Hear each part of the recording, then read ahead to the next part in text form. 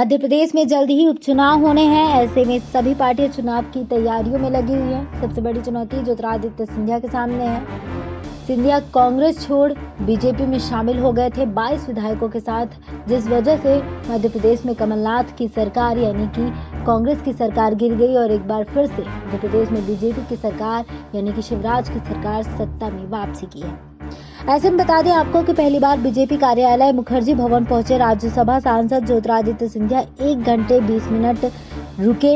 इस दौरान उन्होंने मीडिया से उपचुनाव में बीजेपी से ज़्यादा सीटें जीतने वाले कांग्रेस नेताओं के बयान पर कहा है कि कांग्रेस को अपने भविष्य पर ध्यान देने की ज़रूरत है।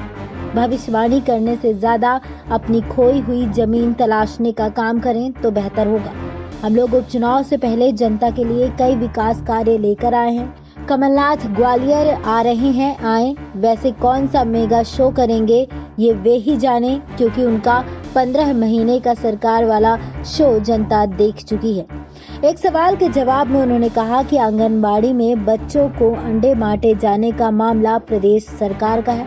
शिवराज सिंह चौहान मुख्यमंत्री और इमरती देवी विभाग के मंत्री हैं तो वे लोग अपने स्तर पर फैसला लेंगे। मैं इस मामले में कुछ नहीं कह सकता।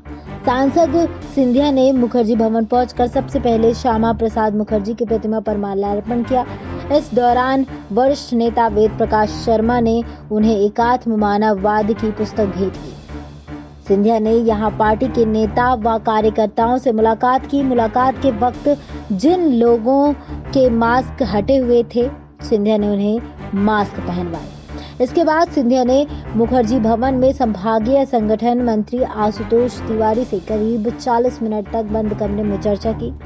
सूत्रों के अनुसार ये चर्चा आने वाले उपचुनाव और संगठनात्मक नियुक्तियों को लेकर रही। इस मौके पर उनके साथ ऊर्जा मंत्री प्रद्युमन सिंह तोमर, शहर अध्यक्ष कमल माखीजानी, ग्रामीण अध्यक्ष कौशल शर्मा, पूर्व महापौर समीक्षा गुप्ता, सुरेंद्र शर्मा, राम वरण सिंह जय सिंह कुशवाहा आदि मौजूद रहे। बाद में उन्होंने जय विलास पैलेस में मंडल अध्यक्षों से फीडबैक लिया।